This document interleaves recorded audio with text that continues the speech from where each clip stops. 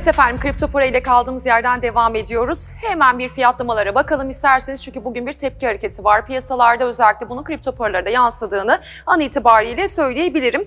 Şu düşenler çıkanlar tablomuzu açtık. Aslında baktığımda burada Holo'yu görüyorum. İlk sırada %10'a yakın bir yükseliş söz konusu. Ardından AVAX TL var %8'in üzerinde yükselişle. Ripple'ı görüyoruz burada. Ripple'da da oldukça e, iyi bir fiyatlama söz konusu %7'in üzerinde. Yine bu listemde Polkadot var %7'in üzerinde artı. Link'i görüyorum %6'nın üzerinde artı. Maker var yine aynı şekilde %6'nın üzerinde. Yine pozitif bir görüntüye işaret ediyor. Ethereum'da e, bu arada e, baktığımda %6'ya yakın bir yükseliş var ama fiyatlamanın 3000 dolar altında olduğunu da söyleyebilirim. Yine Dogecoin'de %5'in üzerinde bir fiyatlama var. Bitcoin cephesine baktığımızda orada da %3'ün üzerinde bir fiyatlama söz konusu. Yine Litecoin'de de %2'nin üzerinde bir artış var. Evet e, düşüş sonrasında bu bir tepki hareketi mi yoksa tekrardan bir yükseliş mi başlıyor? Şimdi detaylarını sevgili Atakan Kaplan'a sormak istiyorum. Atakan hoş geldin yayınımıza öncelikle. Merhaba, hoş buldum. Şimdi bugün yemyeşil bir tabloyla aslında karşıladım seni ama sürdürülebilir olması önemli. Tabii bu tablonun altında yatan e, neden ise Evergrande'nin bu sabah e, borsalara yapmış olduğu açıklama tüm piyasaları rahatlattı aslında ama az önce ifade ettiğim gibi bu bir tepki mi yoksa tekrardan sürdürülebilir bir yükselişe mi işaret ediyor? E, biz istersen bu konuyla başlayalım. Tabii ki. Gerçekten kritik olan bu. Çünkü dün de aslında baktığımızda gün içinde sert düşüşlerin beraberinde evet. E, düşüşleri sildiğimiz bir gün içi hareket vardı ama geceye doğru çok sert düşüşler vardı ve beraberinde e, günlük kapanışları hiç hoş yerde yapmamıştık aslında. Ama siz e, Evergrande tarafından yapılan açıklamada aslında biraz daha detay bakmak gerekir. 23 Eylül vadeli faiz ödemesi için yuan cinsinden tahvil sahipleriyle anlaşmaya vardığını duyurdu borsaya. Burada kritik olan detaylar bildirilmedi. İşte ne kadar faiz ödeneceği ya da ödemenin ne zaman yapılacağı konusunda bilgi verilmedi. Piyasalar bu haberi biraz rahat, piyasaları rahatlatmış gözüküyor bu haber. Ee, ki zaten buna ihtiyaç vardı bu iki günlük sert düşüşün ardından yatırımcılar tarafında gerçekten. Fakat yuan cinsinden tahvillerin yanında dolar cinsinden olanlar için herhangi bir açıklama söz konusu değil. Zaten yüzden... yuan cinsinden olanlar için de yapılan açıklama da yeterli değil bu arada. Yani detay hiç bilmiyoruz. evet hani orayı geçtim artık. Hani, hadi onu yeterli sayalım. Dolar cinsinden hiçbir açıklama yok. O yüzden piyasa şu an alıcılı olsa da bana göre yine de biraz daha yakından takip etmekte fayda var bu haber akışını diye düşünüyorum. Ee, Evergrande'nin de e, yapabileceği birkaç farklı yol var. Mevcut e, farklı yollar var. Haber akışlarından da takip ediyorum bunları. Beklentiler işte vadesi gelmiş sözleşmelerin yeniden yapılandırılması, mevcut varlıkların tasfiyesi, iflas ilanı, öz kaynakların satımı gibi seçenekler sıkça dile getiriliyor. Bunları şu andan konuşmak çok zor. Önümüzdeki günlerde işte e, özellikle yarın e, işin kokusu biraz daha e, ortaya çıkacak, renklerini biraz daha göreceğiz gibi duruyor. Dediğim gibi biraz daha temkinli yaklaşmakta fayda görüyorum ben. E, kalıcı olabilir. O yüzden en azından bugünkü günlük kapanışları beklemekte e, fayda var. Peki e, özellikle şimdi bir grafiğimiz var. Sormak istediğim noktada da Bitcoin'i e, özellikle altını çizmek istiyorum. Çünkü e, diğer kripto paralarda bir yükseliş görmüştük ama Bitcoin'deki birazcık daha tepki hareketleri bu aralar sınırlı kaldı. E, bu birazcık daha ne işaret ediyor onu merak ediyorum. Öncü gösterge olarak hep Bitcoin'i alıyoruz ya çünkü. E, buradaki korkunun devam ettiğini mi yoksa diğer altcoin'lerdeki yükselişin e, gerçekliği yansıtmadığını mı ifade ediyor bize? Bir grafiğimiz var orada çok daha net açıklarsın sanıyorum bize. Çünkü korku güven endeksi aslında grafiğimizin adı. Bize e, neyi işaret ediyor Bitcoin cephesinde peki Atakan? Ya şimdi korku güven endeksi e, ben şu anlamda burada değer görüyorum. Korku güven endeksi bize yatırımcının piyasa hakkında görüşünü gösteren bir metrik. Tabii ki bu da aynı zamanda aldığı pozisyon şeklini de gösteriyor e, yatırımcının. Bu metrik tek başına kullanılarak e, trade edilmesi imkansız. Fakat yatırımcının bir gözünün de burada olması önemli bence ki benim genelde haftalık periyotlarda baktığım bir metrik. Metrik geçtiğimiz ay 80 seviyelerindeyken şu anda 20'li seviyelerde. E, bu da bize aslında yatırımcının sert duygusal değişimini gösteriyor. Yatırımcı ne zaman çok pozitifse bu genelde kişilerin ne alsa yükseldiği döneme denk geliyor. Öyle dönemler kriptoda genellikle yaşanıyor. Artık piyasa biraz daha kuşkulu yaklaşma döneminin başladığına işarettir aslında. Şu anki bu seviye, e, metrin 20'li seviyelerde bulunuyor olması. Pardon, e, geçtiğimiz aylar 80'li seviyelerde bulunuyor olması. Piyasa maksimum acıyı sağlamak için en beklenmedik anda düzeltmesini yapar ve burada da bunda e, sosyal medya üzerinden çekilen verilerle karşımıza koyan bir metrikten bahsediyoruz. Şu an yatırımcı korkuya kapılmış durumda ki hakkı daha demin de söyledim. İki gündür aralıksız yaşanan sert düşüşler Çin Fed derken korku ve kızgınlık hakim e, yatırımcılarda. Fakat piyasa nasıl duygusuzsa bir yatırımcı olarak elimizden geldiğince duygu durumumuzu bizim de bu anlamda idare etmeliyiz. Karşıt yatırımı benim sin demiyorum ama farklı stratejiler de var tabii ki ama finansal piyasalarda çoğunlukla karşı pozisyon almak işe yarar. Bitcoin'de de şu an yatırımcının bu korku ve kızgınlıktan dolayı e, elini eteğini biraz daha piyasadan çektiğini görüyoruz ki aslında bu karşıt yatırımlı e, baz alan e, strateji benimsemiş yatırımcıların şu anda piyasaya giriyor olması lazım. 50 bin dolar seviyelerindeyken değil e, işte bu önümüzdeki bu hafta evet gerçekten çok çok majör e, haber akışları var ama piyasaya artık daha olumlu yaklaşma dönemi diyebilirim. Yani 50 bin seviyelerden aa alsak mı gidiyor mudansa bir gerildi acaba buralar alım fırsatı mı diye yaklaşmakta fayda var ki e, sizin de dediğiniz gibi Bitcoin'ler şu Bitcoin'de şu an e, tepkiler sınırlı kalıyor. Bence nedeni tamamen bu yatırımcının elini eteğini çekmesinden kaynaklanıyor. Peki e, burada dijital varlık fonlarına da biraz bakalım o zaman. E, burada yer, bireysel yatırımcı diyeyim daha doğrusu yerli demem çok doğru olmaz düzeltiyorum.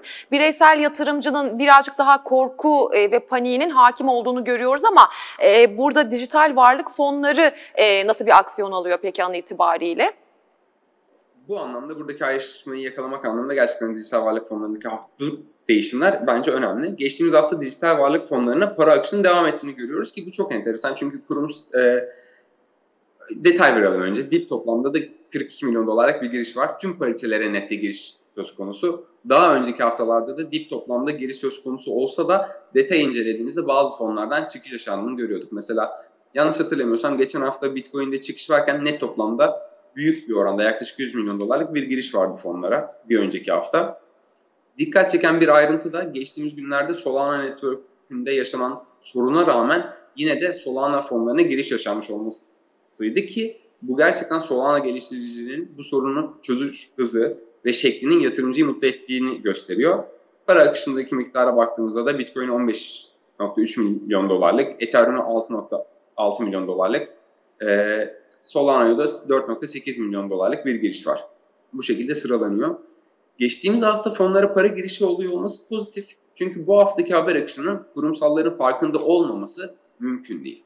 Ee, o yüzden bu anlamda geçtiğimiz haftaki fon akışını pozitif yorumluyorum ama baktığınızda global endekslerde pozitif fiyatlandığı için aslında bu çok ayrıştırıcı bir durum değil. Asıl kritik olacak şey de bu hafta fonların nasıl pozisyon aldığı nette. Çünkü eğer bu hafta da pozitif bir e, fonlama varsa, para akışı varsa fonlara o zaman diyeceğiz ki evet kurumsal artık e, kriptoya çok farklı açılardan da bakmaya başladı. Kripto para piyasasında artık e, hani uzun vadeli gerçekten bu kadar e, globalde negatif etkileyici haber akışına rağmen hala fonlara para atıyorsa demek ki bu tarafta daha oturmuş bir düzene doğru ilerliyoruz hissiyatı yaratacağını düşünüyorum.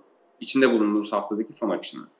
Peki içinde bulunduğumuz hafta derken bu hafta çok yoğun geçiyor ve geçmeye devam edecek. Bu akşam FED var malum. Şimdi FOMC ve kripto paralar ilişkisini de biraz kuralım istiyorum. Yani bu akşam kripto para yatırımcısını e, etkileyecek önemli gelişmeler ne olabilir? Powell'ın ağzından çıkacak söylemlerle kripto para fiyatlamasını karşılaştırdığımızda daha olumlu bir tabloyla yarın karşı karşıya kalmamız için Powell'dan ne gibi açıklamalar gelmesi gerekiyor sence? Şimdi e, önce beklentiler ne? Ben Powell'dan önümüzdeki dönemde alınacak aksiyonlar hakkında bir zaman çizelgesi gibi bir açıklama duymayı bekliyorum aslında. Yani hı hı. bu genel yatırımcının da beklentisi bu yönde. Yani biraz daha netlik kazanmasını istiyorum bu sürecin. Beklenti de e, bu yönde olduğu için biraz daha ağır basıyor düşüneceğim. Faiz arttırımı zaten 2023'e yoğunlaşmış durumda ama varlık alımlarının azaltılması konusunda da önümüzdeki aylarda alınacak aksiyonların biraz daha netleşeceğini düşünüyorum. Ama Fed açıklamalarını biliyorsunuz çok kalitelidirler. İnce detaylar vardır. O yüzden bakalım bu sefer bu detaylardan neler çıkaracağız. Ama e, varlık alımlarının erkene çekiliyor olması e, kripto para piyasasında negatif etkileyecek bir faktör aslında baktığımızda. O yüzden burada e, son dönemde özellikle bu piyasaları etkileyecek durumlardan dolayı varlık alımları tarafından nasıl bir aksiyon alınacağını e, görüyor olacağız. E, biraz daha geciktirilmesi kripto tarafına bence pozitif yansıyacaktır. pozitif yansıyacaktır diyorsun. Hemen akabinde şimdi bir de Ethereum grafiğimiz var. Ethereum tarafına dönelim. Şimdi e, Bitcoin'de hareketler sınırlı kaldı demiştik. Ethereum bir miktar daha aslında e, 3000 doların üzerinde direndi. E, fakat e, tekrardan 3000 doların altına geldiğini gördük fiyatlamanın. Evet bugün oldukça pozitif bir fiyatlama var ama e, kendini 3000 doların üzerine atamadığını görüyorum an itibariyle Ethereum'un. Burayı bir e, psikolojik direnç olarak mı kabul ediyoruz sence peki Atakan? Kesinlikle öyle ama şimdi buradaki e, sert düşüşlere rağmen bu e, sınırlı kalan pozisyonları konuşmuştuk ya onun için bir detay vermek istiyorum aslında teknik analize geçmeden önce. Hı hı. E, analitik platformu Bybit'e göre Evergrande'in endişesi küresel piyasalardaki sallantılar derken son 24 saat içinde toplam 1.2 milyar dolarlık kripto vadeli işlemleri tasfiye edildi. Yüz binlerce yatırımcı likide oldu Piyasa bu anlamda FOMO'ya yakalanan, yüksek kaldıraçlı işlem açan uzun pozisyonlu yatırımcıların çoğunu piyasadan sildi maalesef. Sildi. Ee, evet, gerçekten sildi. Bir piyasada bir temizlik yapıldı bu anlamda gerçekten.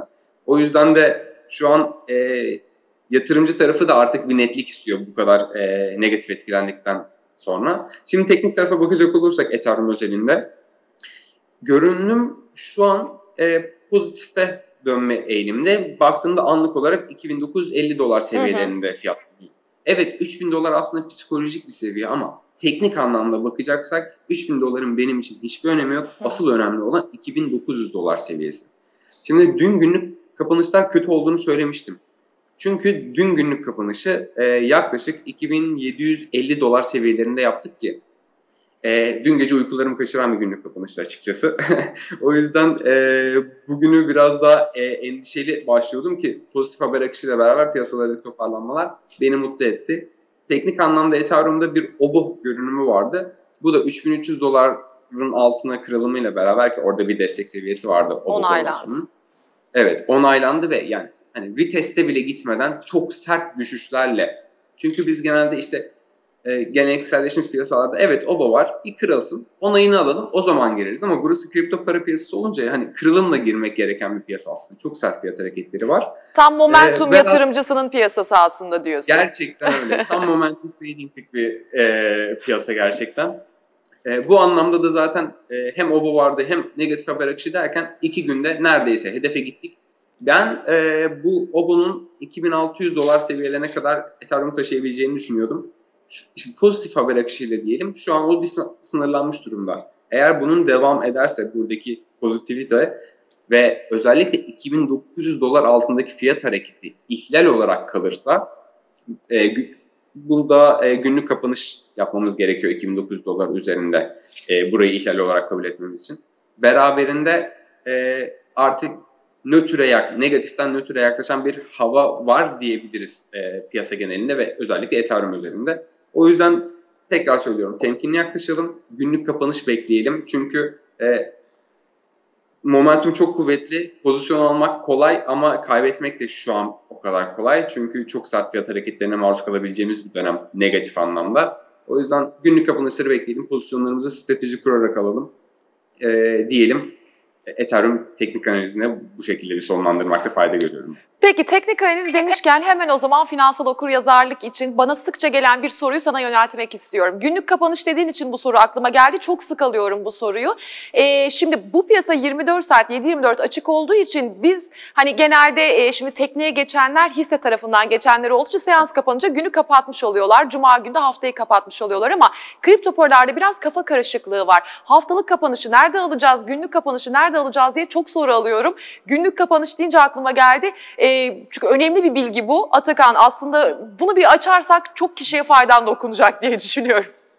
E, belli başlı sitelerde atıyorum dili Türkçe'ye çevirince de gece 12'ye dönüyor otomatikman. Çünkü e, günlük saati de bilgisayardan aldığı için gün kapanışın o saat olarak alıyor ama günlük kapanış kripto para piyasaları özelinde sabaha karşı 3'tür. E, 3'ten 3'e doğru 24 saat açık piyasa olduğu için günlük kapanışı sabaha karşı 3. Haftalık kapanışı da pazartesi sabaha karşı yani pazarı pazartesiye bağlayan gece 3'te e, haftalık kapanış gelir. Bunu da e, iyi ki belirttik. Gerçekten belirtmekte fayda var. Biz de çok fazla soru alıyoruz. E, bu şekilde de bilgilendirmiş olalım buradan. Atakan çok teşekkür ediyorum vermiş olduğum bilgiler için ve bu önemli not için diyelim. E, hem burada günlük kapanış ve haftalık kapanışı nedir e, detaylı bir şekilde üzerinden de geçmiş olduk. Tekrardan görüşmek üzere diyelim. Kripto paraya burada noktaya koyalım efendim. Saatler 14'ü gösterdi. Borsa Teknik'te görüşmek üzere. Hoşçakalın.